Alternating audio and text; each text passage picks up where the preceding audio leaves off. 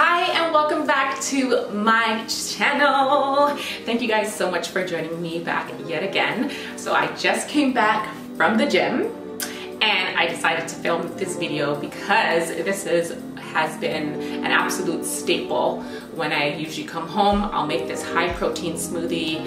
It's 34.5 grams of protein in this smoothie and it has zero, like no protein powder in it. I did note that in my other videos that I'm not taking protein powder right now.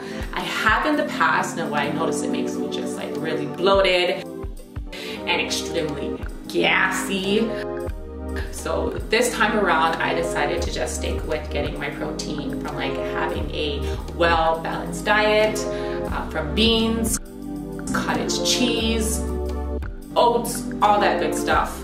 Um, I do change it up from the end of the day, obviously, because I don't want to get tired of the same thing I'm eating, but this smoothie, like I love it so much. So if you guys do try this protein smoothie, let me know in the comment section how it goes, drop words of encouragement, and we're gonna get into this recipe right now.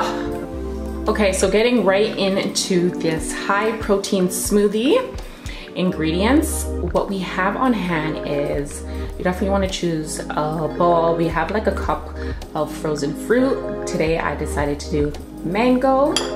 This is actually my go-to fruit is the mango. So I have about one cup of that, which equals to one gram. Oats, you can choose any oats. These are just like large oats that I have. This is one third of a cup and this is four grams right here of protein. For my next ingredient I had is peanut butter. This is all natural peanut butter.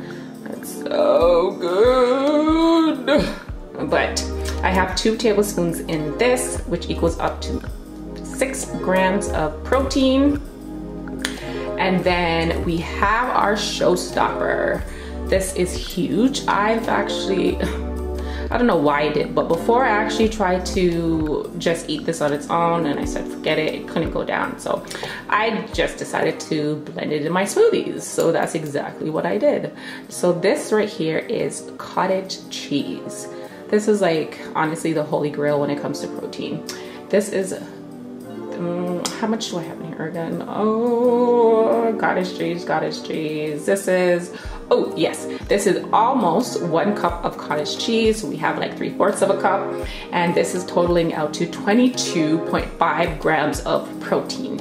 Now for every half a cup of cottage cheese, you're looking at 15 grams of protein. So I normally do about three fourths of a cup. Sometimes I'll do one cup depending on how I feel, but this is like a staple in my smoothie for it.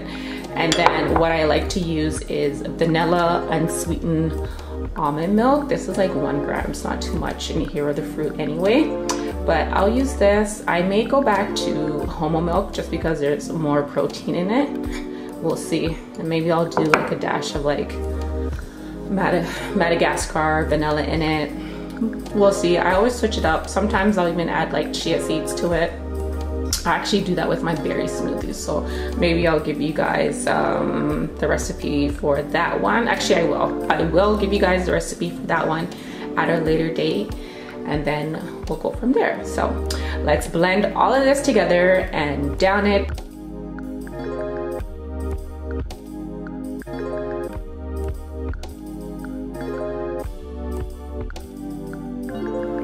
here we have it.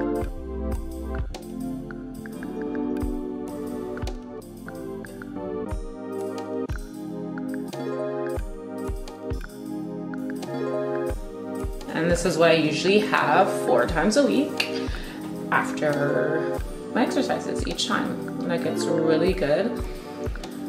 Oh, the peanut butter just really sends it to a whole nother level, but this in itself is like a complete meal.